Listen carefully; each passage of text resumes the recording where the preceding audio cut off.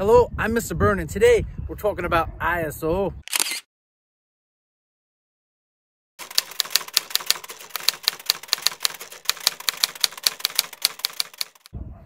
ISO or ISO, either way you say it is fine. My grandpappy, back in the day, he would have to go to the store to buy film. This previous system was known as ASA. Now we call it ISO. ISO has to do with the sensitivity of the sensor in your camera. You usually use settings like this in bright situations like this.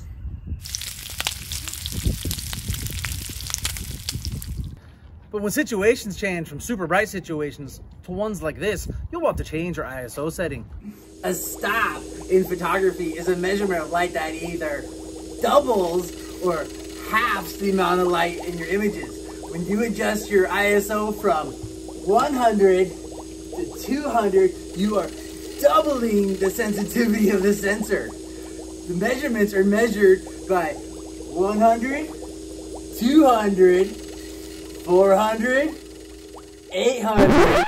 Welcome to the OS Studio. I'm going to demonstrate what happens when you adjust the ISO on your, your camera. I'm leaving all the settings the same. And to help me out, I'm invited my good friend, Barry Sanders.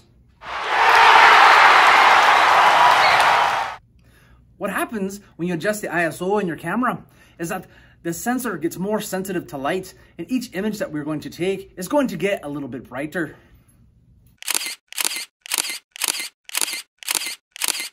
Ultimately, as a photographer, you want to produce the highest quality image that you can. That means you'll want to use the lowest ISO number that your camera will allow for the given situation. Like most things in life, that's a trade-off though. By using a higher ISO, you're able to shoot in lower light situations at the cost of your quality. When you increase your ISO, you also increase the amount of digital noise in your images.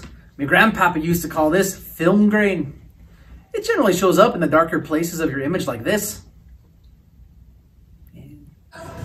As a photographer, the first thing you want to do when you walk into a situation is evaluate your lights and then choose the best ISO setting for it. One of the most challenging places to shoot is in a gym like this.